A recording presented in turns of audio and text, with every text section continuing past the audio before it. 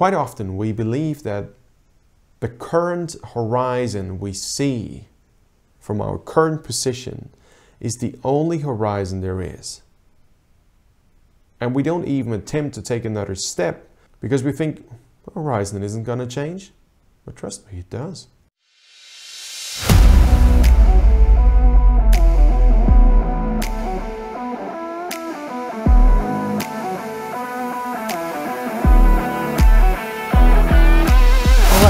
And welcome everybody. My name's Aram. Today I would like to talk about overtraining and overtraining has many aspects. This is a never-ending story. It occurs to many people uh, in all walks of life. So masters, beginners, hobbyists, pros, Olympics. It doesn't matter. You're going to be affected by it eventually. Today I want to pick one specific topic. Overtraining, how to fix it. So I put together a list of a couple of things that I always do. In an ideal world, you would keep a training log. That means you write down in some ways, could be on a, on a notepad, it could be on an app, whatever you have. And the most important thing is that you write down how the training that you currently are doing affects you. That's what I'm, I'm interested most. So in my training log, I'm super curious about okay, this is what you did and this is what it did to you. I know that a lot of a lot of coaches write training plans and they say, hey, if you can't follow the plan, you're not motivated enough, you don't perform, um, you lack discipline, you like blah, blah, blah. Sometimes that's all true. I get it, that's true. But quite often the plan just doesn't suit the person or it suits the person, but it doesn't suit the person at that very moment. So what you need to do is find out how, how the training that you've done has actually affected you, what it has done to you we're demotivated, motivated, but without being, oh, that training didn't go well, everything's bad. I'm, I'm talking about progressive overload, and everybody knows overtraining leads to demotivation because you can't pull things through anymore. Things that were super easy last week are not super easy anymore. Revise your training log. Which sessions affected you in which way? And then go back. Are there periods where you find out, okay, I, I did a lot of this and that stuff, and I kind of felt bad afterwards because I never really came back from it. I, I never really recovered from it. Oh, okay, maybe, maybe I need to take more break. That's an important thing. But I know that this is kind of unfair because a lot of people simply don't keep a log. I'm aware of that.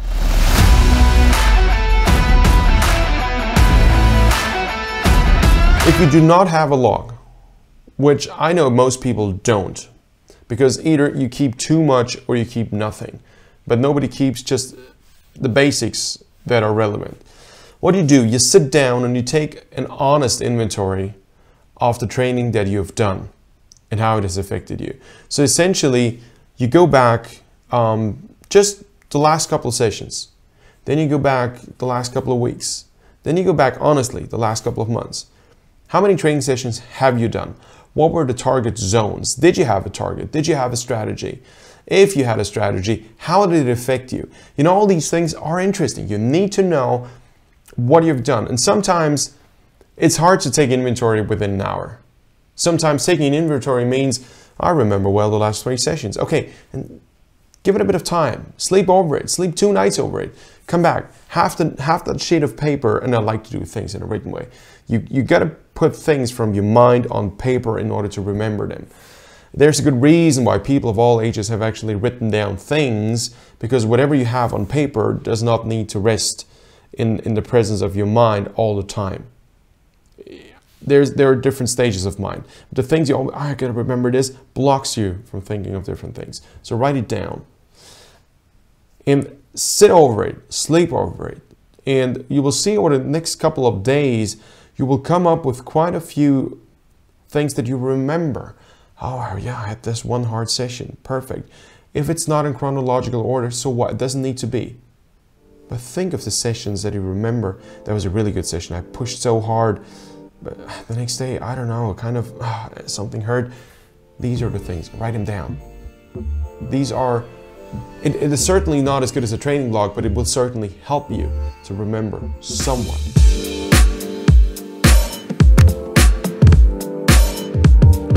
Change your training strategy if you have one.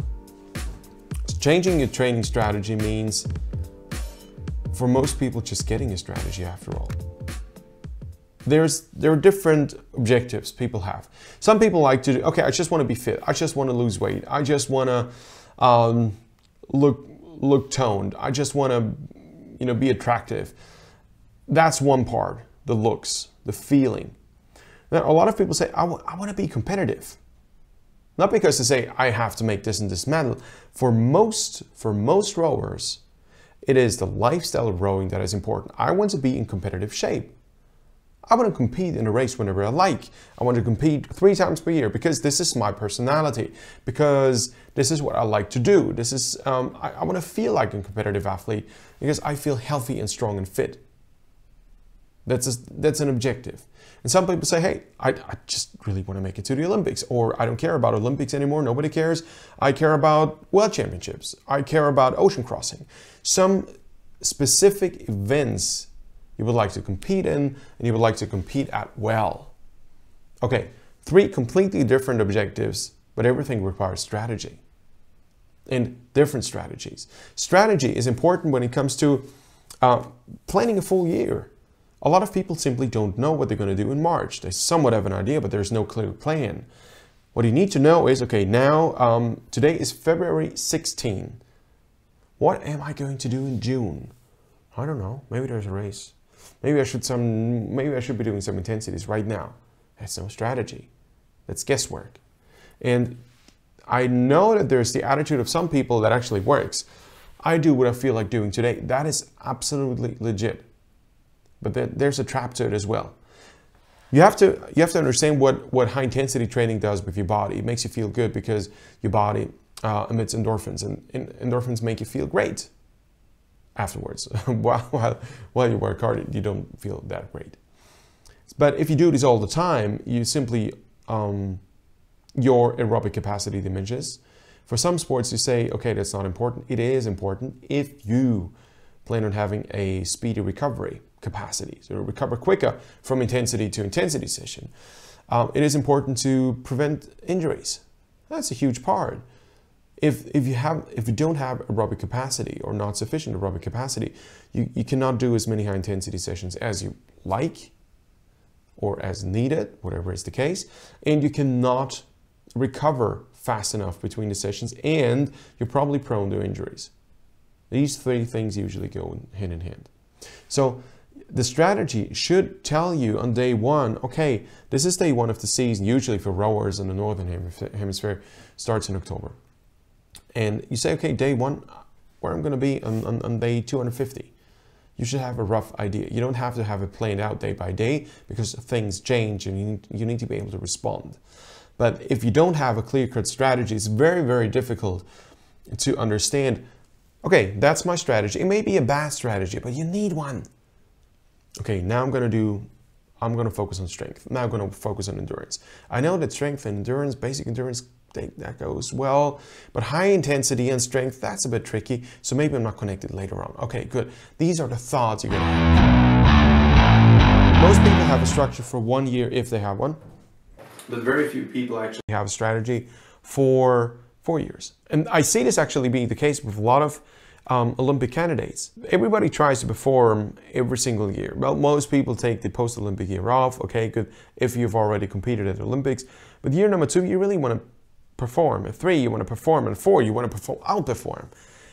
There's no such thing as consistent outperforming if, if you don't have a plan behind it.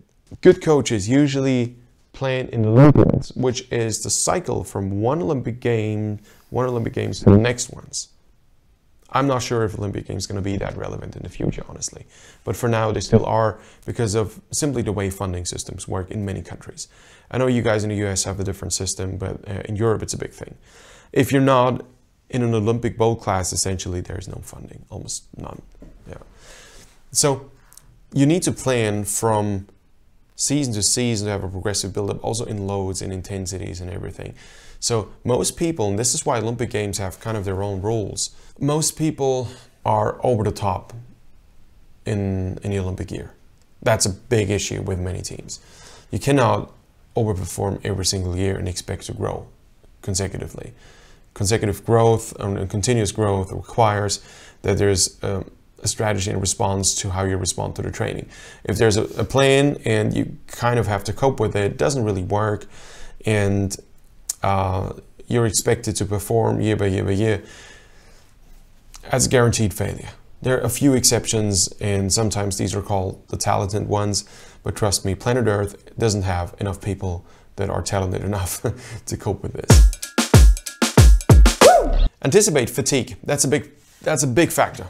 If you want to get out of, of overtraining, you have to anticipate fatigue. An occasional cold, phases of slow development.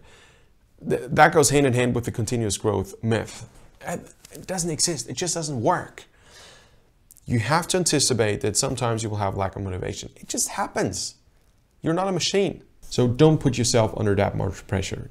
There's a fine line between having an intrinsic motivation to follow through and being motivated every day. Nobody is motivated every day.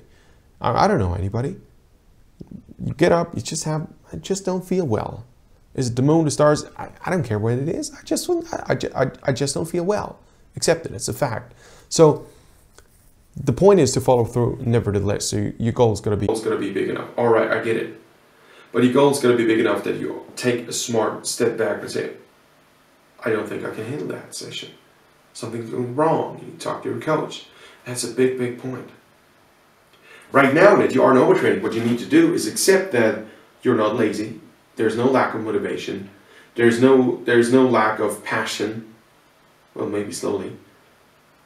But there's a lack of accepting your body and your mind that you're not a machine. Accepting that you need a break. Accepting that you are worth it that you take a break. That's important. A break doesn't mean to do nothing. But that's one of the next points.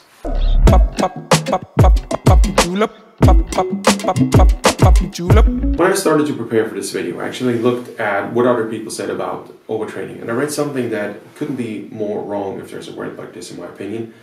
If you're an overtraining, stop training. No. No. There's a massive difference between explosive athletes and endurance athletes. If you have done too much and you are an endurance athlete and you stop training, you simply don't have the required turnover in your entire body, organism, light, light motion to actually recover. It just doesn't work. And that light motion will help you to actually get rid of all the stuff that's floating around your body. Every time you do high intensity training, a ton of lactate builds up, which is normal once you are in anaerobic state. Usually lactate is being reused, but then it's not reused. And if you don't have enough turnover, that lactate simply doesn't disappear. I mean, eventually, slowly, but that's too slow. And what happens is that it changes the pH value of the blood. Acid state is not healthy for anybody, and that's why prone to injuries. But stopping workouts is, is counterproductive because it also makes you lose your identity. There's a psychological factor to this. What you need to do is do light motion if you're the typical endurance athletes. If you understand, am I endurance, am I explosive? Very simple question. Do you like the long stuff or do you like the short and hard stuff? Uh, kind of like both? Okay, you're probably in the middle, so experiment. It's that simple. Don't make things overcomplicated. If you are in, uh, if you're in the field of being clearly uh, explosive athlete, what you should do is take a day off and take an easy session the day afterwards. You need off days. This is just how you're wired. You feel better than the classic explosive athletes. I recommend everybody experiment. There are the mixed types that are actually endurance by nature but explosive trained, and vice versa. Explosive athletes, endurance trained by nature. Um, quite often happens in rowing actually, because in rowing you need both anyway. So that's an interesting combo. Experiment, try it out. In order to fix overtraining, um, you need a phase of about two to three weeks, where you need to stay true to your virtues of training. That's important. Most people make the mistake, oh, overtraining, I just give it all up. That was my case. I didn't know better. I went from 12 to 14 sessions per week to nothing out of frustration. I gained a lot of weight and I lost my identity. I didn't like myself anymore.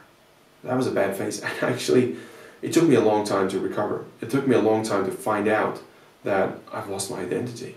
That's a big thing. You know? if, if you've seen some of my recent videos, or since I started that channel, Um, you've probably seen me um, being overweight for an athlete. That's a fact. It, it's there's nothing to to um, there's nothing to, to be nice about it. It's simply a fact. I've simply worked too hard, slept too little. I've I've actually neglected my own needs for sleep, um, for for breaks, and I neglected my identity as as an athlete. You can't you, you cannot neglect yourself endlessly. So, so that's that's something very important that I want to pass on to you, to, to you watching this. Don't make the same mistake. Don't lose your identity as an athlete. I, I when I stopped uh, high performance rowing, I was frustrated also with the coaching I had and everything else. But don't lose your identity. Stay with the training. Do something different. Sometimes, another tip I can give you, change sports. Stick with rowing every once in a while. Just do it for fun um, and it, even if it's not fun, just hop in a boat at least once every two or three weeks. Don't lose it completely. That's important. Um, and then do other things. Go climbing. That's not that's not helpful for your low aerobic, but it's fun and it's good for core. Um, cycling, if you like that. Ice skating, if you like that. Um, running, be careful. Don't do too much too quickly, but if you like it, go for it. Swimming low intensity swimming. Um, hiking, taking three hour hikes, five hour hikes, two hour walks, whatever you prefer. Um, forget about intensities. Just do something you enjoy. And that's something I often found with rowers who were too much into the, in, into the game and, and all that counts is rowing. You can you, you then tend to overthink things. Don't do that. Enjoy the, enjoy nature. Row Forget about technique. Forget about, don't even put on your heart rate monitor. Forget the speed coach. Don't look at it. Um, if, you, if you don't really have to be available all the time. You know what? This happens so often to me. Um, something runs out of battery. I don't know. If, if, you are a content creator out there, content creator, what a word. If you put out YouTube videos, how many times has recording stopped either in the camera because you got the 30 minute limit or SD card was full. And I don't know why these cameras and devices, this is my audio recording, why they don't shout at you and say, hey, I don't work anymore, and then you can just save the last bit of energy to tell me it's not working. Okay, now you should be able to hear me well again. Sorry for the bad audio in between. One of the best advices I can give you is forget intensities, forget your heart rate monitor, don't even look at your speed coach, just enjoy the, enjoy the process. Once you've been an athlete, it's very difficult to change your identity. I haven't heard of athletes who were athletes when they were teenies or in their twins who became alcoholics and heavy smokers. Probably there are, and, and if you know somebody, don't put it in the comments. But that's probably an exception. You don't really make money with rowing. But what you get out of it is uh, exceptional health and an attitude to work for something without immediate reward. If, if I had the choice and I could hire somebody who's been in a sport like rowing, I know there's not a lot of money in the game, but they, they do it and they can sacrifice a lot for something that they may possibly reach or not. Or somebody who has done sport where you just make a lot of money when you do it. I would always prefer the person who's had, yeah, who's had to make a lot of sacrifices without immediate reward. It's an attitude. It, it shapes your attitude. All right, I'm getting off topic here. It's important to enjoy the process of motion, to, to be okay with not hitting target watts. That's it's the pressure. A lot with overtraining, I think, has to do with um, putting yourself under uh, silly pressure that is not necessary. And once you're out of that, you can start with strategizing the year. Go back into your training log, see what you've done. That's important. Um, but but first, you need to you need to give yourself at least two to three weeks. Just enjoy the motion and and I'm I'm now I'm, kids, don't listen. Screw you. that's, that's, a, that's the hardest cussing I'm using on this channel. Hell yeah, I, I, I, I, I didn't give a crap about. hitting 150, 250, 300 watts. It is not important. Go, go, go out on the water if you can.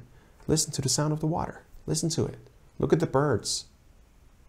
Enjoy the roughest conditions. Say, how I, I, I, I fought through the rough conditions. That was an awful session today. Great, I'm back. Let's take a shower. Something else. That's important. But it's important to stay with the game. Don't lose it completely. Then start to play and strategize.